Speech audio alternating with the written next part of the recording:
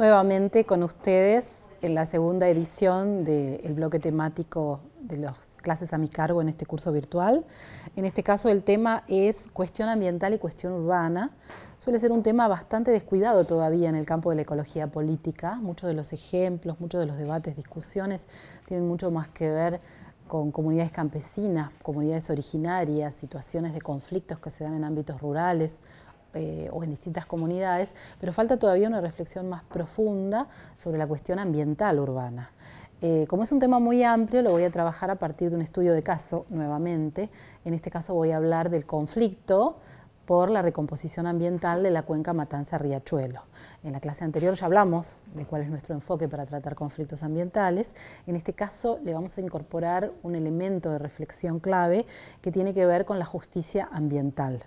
Dice Barry Commoner, cuando se comprueba la emergencia de cualquier problema ambiental, esto revela una verdad ineludible que hay que buscar sus orígenes en el modo en que la gente interactúa con otros. Esto implica que la deuda con la naturaleza no puede ser pagada por cada individuo con botellas recicladas o estilos de vida ecológicos, sino con la antigua moneda de la justicia social. Eso dice Barry Commoner. Y Harvey, David Harvey, eh, se pregunta de qué metal es esa moneda antigua en ese texto muy bueno que ustedes tienen para leer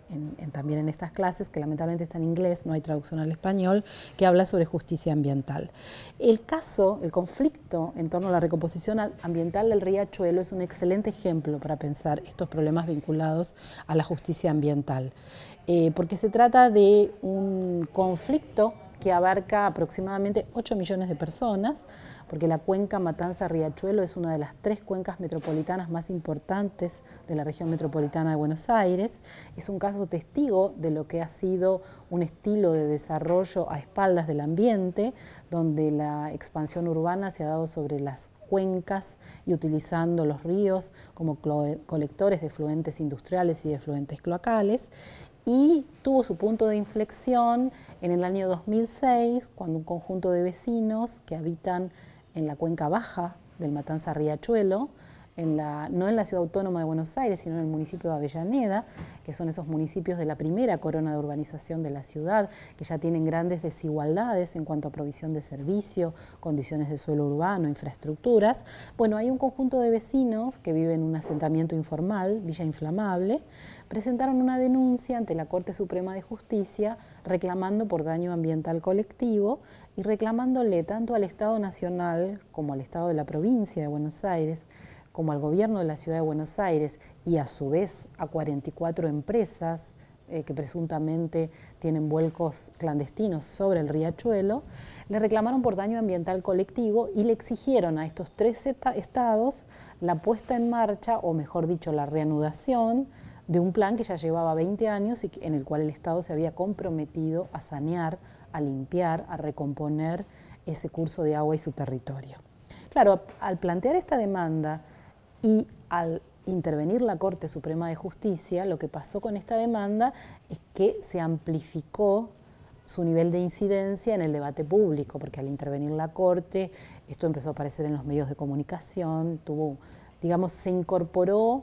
en el debate público y en el debate político sobre cuál es la importancia que en la región metropolitana de Buenos Aires se le da a la cuestión ambiental y sobre todo en términos de esta discusión distributiva. ¿Cómo es posible que la Ciudad Autónoma de Buenos Aires, donde vive la población con mejores recursos y la más afluente, tenga agua potable, cloacas, buenos servicios sanitarios y del otro lado, simplemente cursando el riachuelo, porque el riachuelo además es el límite geográfico entre la Ciudad Autónoma de Buenos Aires y los municipios del sur del área metropolitana de Buenos Aires, bueno, esas condiciones ambientales son tan desfavorables, son tan gravosas. Y al intervenir la Corte también lo que sucedió es que la Corte eh, generó un caso colectivo, un caso estructural, se dice en derecho ambiental, en el cual puso en tensión o abrió un escenario institucional para que se generaran nuevas políticas ambientales. Como respuesta a la demanda de la Corte, el Gobierno Nacional eh, propuso generar una nueva autoridad, la autoridad de la Cuenca Matanza-Riachuelo, eso fue en el año 2007, el proceso llevó su tiempo, la autoridad de la cuenca Matanza Riachuelo empezó a tener medidas efectivas en el año 2010 Y en el medio la Corte declaró sentencia por prevención y recomposición y envió esa causa a un juzgado de primera instancia para que empezara a monitorear sus avances. Entonces, lo que pasó acá es que se produjeron grandes cambios en relación a un conflicto ambiental que estaba en estado latente, el conflicto entre los vecinos que sufren la contaminación y aquellos que la provocan, que se judicializó y que luego se desplazó hacia un ámbito político institucional donde el Poder Judicial da órdenes y el Poder Ejecutivo tiene que llevar adelante acciones. Por supuesto que esto no está exento de tensiones, acá también aparecen conflictos muy importantes entre el Poder Judicial y el Poder Ejecutivo. Pero lo más importante de este proceso ha sido que en Buenos Aires ha cambiado el escenario de actores en relación a la gobernabilidad del agua, lo cual ha hecho también cambiar el escenario del conflicto. Hay mayor complejidad en cuanto a las medidas que se reclaman, porque la Corte ha exigido no solo sanear el riachuelo, es decir, limpiar el espejo de agua, sino también que haya programas de vivienda para los pobladores que viven en asentamientos y villas informales. Estamos hablando de cerca de 500.000 personas viviendo en asentamientos y villas informales en el área de la cuenca Matanza-Riachuelo. La Corte pidió además que se compatibilizaran metas sociales y ambientales, y eso trae una complejidad adicional en términos de cómo se piensan las rutas de implementación de una política pública, qué hacer primero, en qué orden, eh, ampliar eh, la provisión de cloaca y agua potable, lo cual es clave para prevenir enfermedades hídricas, eh, controlar a las industrias, hacer vivienda, educación ambiental, generar ecopuntos, un sistema de gestión integral de los residuos sólidos urbanos, y todo ello también ha generado en los ámbitos de los municipios metropolitanos diferentes tensiones porque estamos hablando de una cuenca en la que tienen jurisdicción tanto el sur de la Ciudad Autónoma de Buenos Aires como 14 municipios metropolitanos, algunos que son de un área rural, otros que son un área de mediana urbanización y otros como es la cuenca baja de un alto nivel de urbanización, porque además es el territorio donde se dio el primer proceso de sustitución de importaciones de la Argentina, o sea, hay instaladas una gran cantidad de industrias. Eh, en los últimos años, los vecinos han ido ganando presencia, los vecinos de estos asentamientos informales, en términos de empezar a discutir qué va a pasar con ellos, porque a partir de la intervención de la Corte eh, hay un plan de urbanización en villas y asentamientos informales que tiene previsto construir viviendas, en algunos casos en el mismo territorio donde vive la gente, pero en otros casos es necesario generar desplazamientos porque están viviendo en sitios de alto riesgo ambiental. Claro, eso genera grandes incertidumbres para pobladores que allí viven, porque ya en el pasado han tenido promesas de planes de vivienda que no se han cumplido, y ahí empieza a haber una movilización de las organizaciones territoriales en términos de discutir esta prioridad, esta manera de establecer metas en cuanto a las cuestiones sociales y a las cuestiones ambientales. Es aquí donde se empieza a abrir un ámbito de deliberación en torno a la justicia ambiental o qué quiere decir la justicia ambiental. La gran discusión acá es qué quiere decir recomponer el ecosistema del riachuelo. Primera pregunta clave, un ecosistema urbano con ese nivel de degradación ambiental puede ser recompuesto a su situación original, como lo dice la Ley General del Ambiente de la Argentina. Si no puede ser así, ¿cuáles son las metas intermedias que hay que plantear? Y sobre todo, si se establecen prioridades de políticas públicas, ¿cuáles van a ser las consecuencias distributivas de esas políticas públicas en términos de los diferentes actores involucrados? Porque si la población que allí vive termina siendo desplazada a ubicaciones más desfavorables en la ciudad, esto puede tener una consecuencia no prevista o una consecuencia perversa, que es un proceso de gentrificación. ¿Qué es la gentrificación? Cuando ciertas áreas degradadas de una ciudad se recuperan, se renuevan, pero a expensas de desplazar población hacia sitios menos privilegiados, hacia sitios más periféricos. Y es cierto que esa población reclama seguir viviendo en esas áreas de centralidad urbana, porque eso le permite mejor acceso a fuentes de trabajo, a servicios educativos y a servicios sanitarios.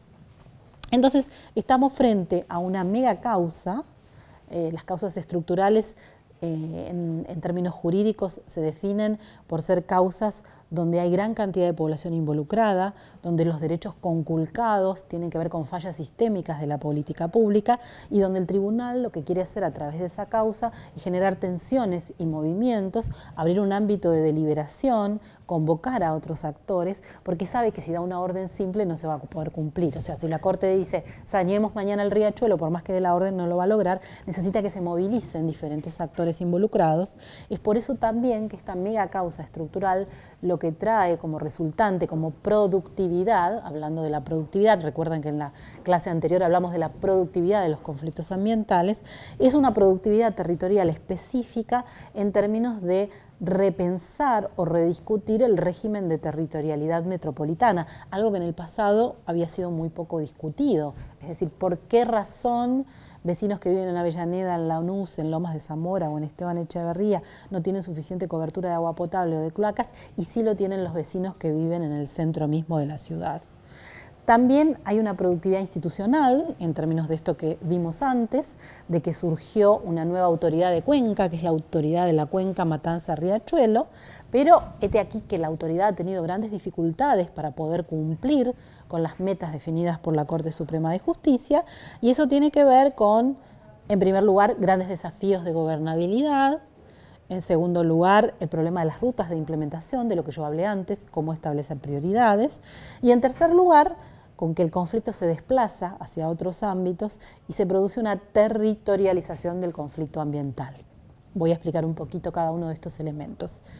Sobre los desafíos de gobernabilidad. Estamos acostumbrados en la literatura de ciencias sociales a escuchar hablar de la gobernabilidad a secas, de la manera en que diferentes actores en un territorio concurren con diferentes recursos para lograr eh, objetivos de largo plazo. Bueno, cuando hablamos de la gobernabilidad ambiental, estamos hablando de procesos mucho más complejos porque intervienen distintas escalas temporales, es decir, hay que ponerse de acuerdo sobre la gestión de los recursos en el territorio, pero hablando de una recomposición ambiental.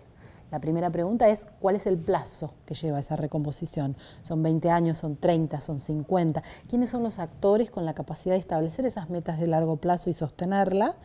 Y de qué manera los distintos recursos de poder que tienen diferentes actores en ese ámbito nuevo que es la CUMAR van a establecer prioridades, distintas de acuerdo a intereses diferentes. Entonces, si bien está la CUMAR, no podemos tener una visión simplista de que porque existe un organismo institucional a cargo de la gestión de una cuenca, el conflicto se cierra. De nuevo, una reflexión más profunda sobre cómo estudiar conflictos ambientales. El conflicto se desplaza, se traslada, tiene un actor central que puede regularlo, que es este organismo de cuenca, pero se abren nuevos conflictos en relación a cómo se establecen prioridades entre metas sociales y ambientales. He ahí el gran debate sobre la justicia ambiental. En segundo lugar, en relación al problema de las rutas de implementación, eh, esta política para la recomposición de la cuenca es desestabilizadora porque implica pensar diferente tipo de políticas que tengan articulación intersectorial, políticas de salud, políticas de vivienda, políticas educativas, políticas de ordenamiento ambiental del territorio, pero además una articulación interjurisdiccional. Se tienen que poner de acuerdo los actores que tienen competencia en la cuenca para llevar adelante estas metas y también ahí hay conflictos, hay importantes conflictos interjurisdiccionales, por ejemplo, entre los municipios metropolitanos, el gobierno de la provincia de Buenos Aires, el gobierno nacional, y el gobierno de la Ciudad Autónoma de Buenos Aires. Y en tercer lugar, cuando yo digo que el conflicto se territorializa, es que porque este conflicto tiene una productividad, diferentes actores se apropian de esta idea del derecho al ambiente sano y empiezan a plantear otro conjunto de demandas que tienen que ver con vivienda, con salud, con el derecho de reasentamiento. Esto que decía antes, ¿se va a generar nueva tierra para usos inmobiliarios o se va a generar nueva tierra para producción de suelo urbano? Y finalmente, y esta es una de las grandes claves de análisis de este caso, qué pasa con el derecho al ambiente sano y el derecho a la salud, porque esos vecinos que plantearon su demanda originaria ante la Corte Suprema de Justicia lo hicieron porque estaban contaminados con plomo, porque ya tenían problemas muy serios de salud generados por la contaminación ambiental. Entonces, ¿cuál es la respuesta inmediata que se da a estos vecinos que no pueden esperar más porque son las víctimas vivientes de la contaminación, los que ya sufren en carne propia el problema de la contaminación por haberse estado afectados, expuestos durante mucho tiempo a vivir en un hábitat contaminado. En síntesis, cuatro elementos clave para seguir reflexionando en las clases de nuestro curso de Ecología Política.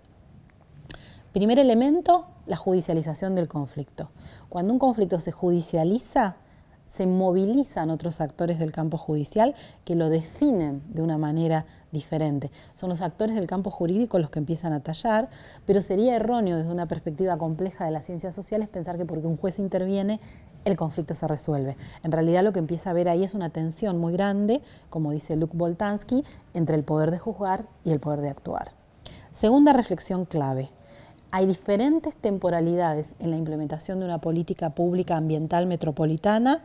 cuando estamos pensando en recomponer en un ecosistema dañado, porque se requiere diferentes rutas de implementación.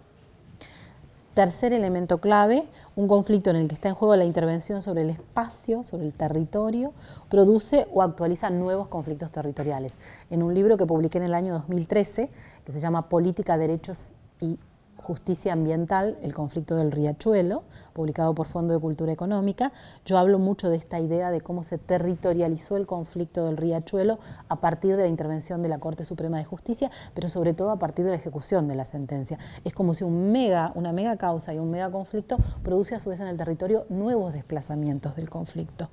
Y finalmente, en lo que tiene que ver con la productividad territorial y jurídica combinada, este caso permite un debate mucho más amplio sobre el derecho y los derechos. El derecho a la vivienda, el derecho a la salud, el derecho al ambiente sano. Y aquí los actores sociales plantean no solo la exigencia de la participación, porque no olvidemos que eh, estos reclamantes originarios de la causa hoy en día tienen muy escasa participación en la implementación de la política, pero además exigen reparación y reconocimiento. Se trata de actores que, como decíamos al principio, al inaugurar esta clase, no exigen reparación en torno de botellas reciclables o estilos ecológicos, sino que exigen,